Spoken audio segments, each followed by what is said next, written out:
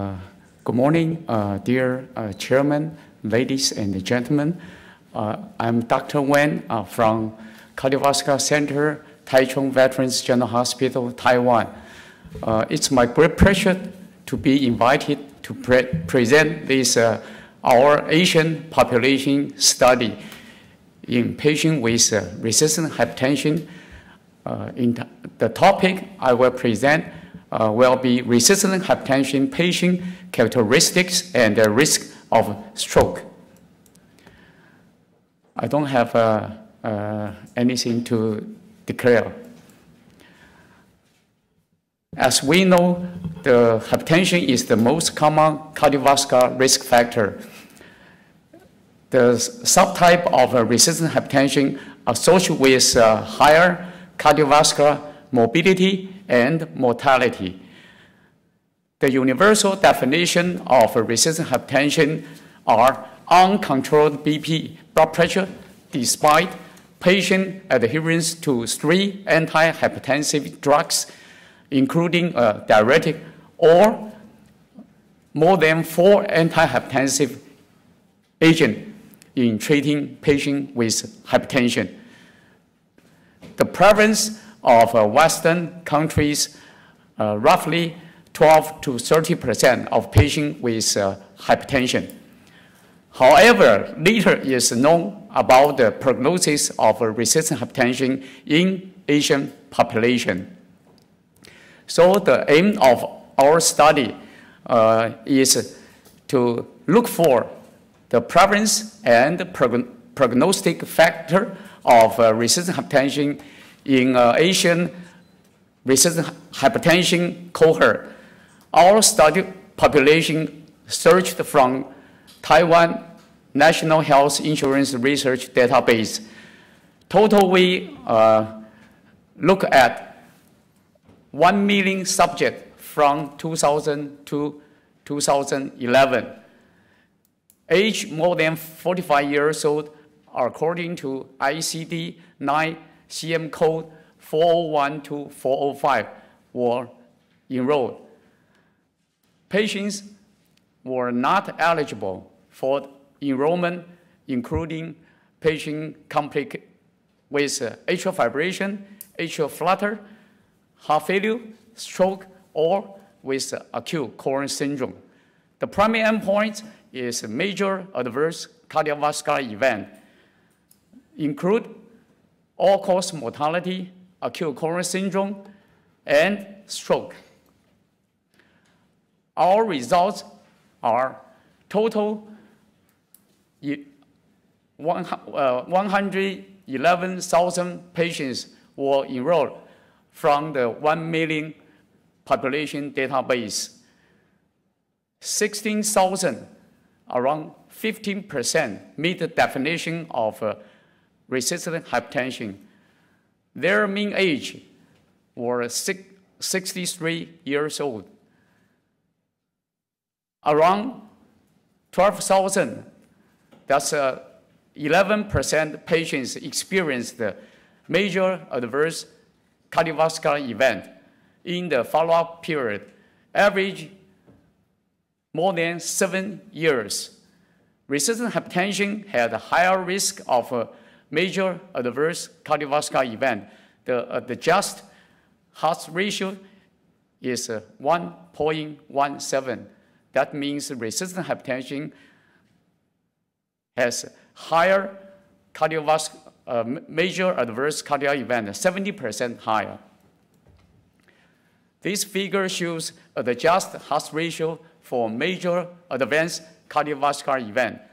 As we know, the resistant hypertension has 17% higher major adver cardiovascular adverse event that uh, reach the significant p-value. However, only stroke, especially ischemic stroke, reach the statistic significance that 34% uh, higher risk of ischemic stroke in patients with resistant hypertension. The other primary endpoints include all-cause mortality, acute coronary syndrome, hemorrhagic stroke or unclassified stroke did not reach the clinical significance.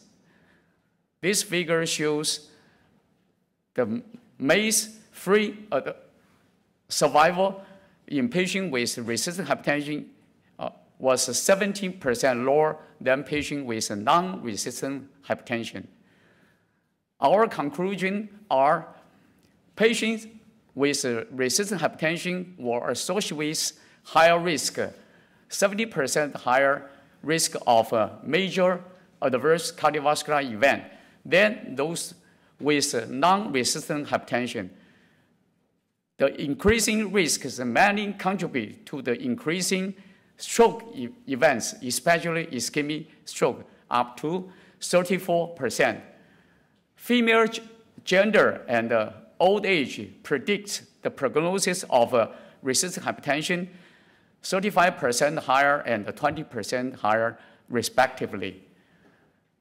So ladies and gentlemen, combining the diagnosis of uh, resistant hypertension and patient characteristic, especially gender, female gender, and uh, old age, more than 65 years old, allows better risk stratification of patients with resistant hypertension.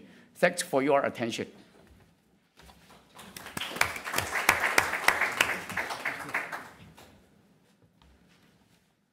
Do you have any questions for the audience? Do you have any explanation why uh, resistant hypertension is more frequent in females than in males? Could you also state which country, which pa- newspaper you Uh, come This from? Медицинская газета uh, Russia. Thank you. Okay, uh, uh, it's a very uh, nice question because uh, as we review the paper, some paper published in Korean and in Western country, uh, especially uh, in Korean study, they find the major risk factor for cerebral atherosclerosis is hypertension and dyslipidemia. However, in male, the major risk factor to predict cerebral atherosclerosis is diabetes and dyslipidemia. So hypertension might be the unique risk factor in predict resistant hypertension, uh, in predict the, cerebral atherosclerosis in patients with resistant hypertension. Uh, our abstract has, has been published in PLOS One in August 1st, 2004. Uh, if you want to, to, to see the all the reference, you might check the PLOS One, August 4th, 2004. May but I- my, I- my question was why in female uh, resistant hypertension is more frequent? What is the explanation? What is the Yeah, uh, uh, there is no prospective randomized study. I just explained, that's the observation study in Korea and uh, in some Caucasian study. In Korean study, there is also an observation study. But do we have any idea why, why are women more sick than men in your country? Yeah, are they behaving worse or what is the reason? I think that's a retrospective study. We have some uh, limitations. We don't know the, the, the blood pressure control level and what kind of uh, medication they use, three or four or five. So it's just a, a, a patient database from one million people from the National Health Insurance database. For me, as a simple clinician, what is the take-home message? People that already are on three drugs, we do our best to get them down in their blood pressure, and still it doesn't help. Uh, you see, you, you show this. What, what, if, if it's a worse risk situation, what's the solution? What would you advise me as a clinician to do?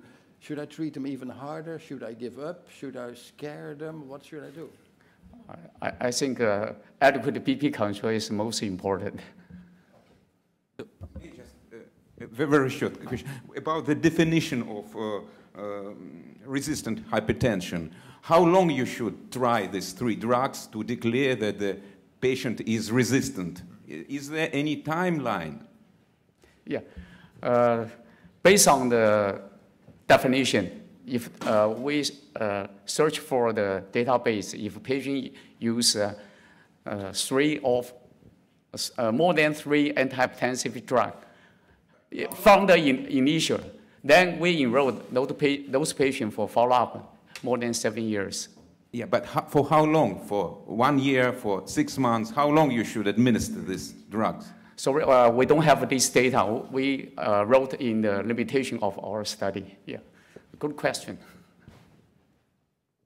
Maybe number 17 is a good measure, no? 17 prevalence, is the prevalence? 17 increased risk? Uh, uh, 14, 14.6%. So around 14, It's a 17? And similar two to the- Two times 17, that's 34% increase Yeah. risk of stroke. So Yeah, yeah. maybe that's a good measure, a Yeah. good key message for, for your findings, right?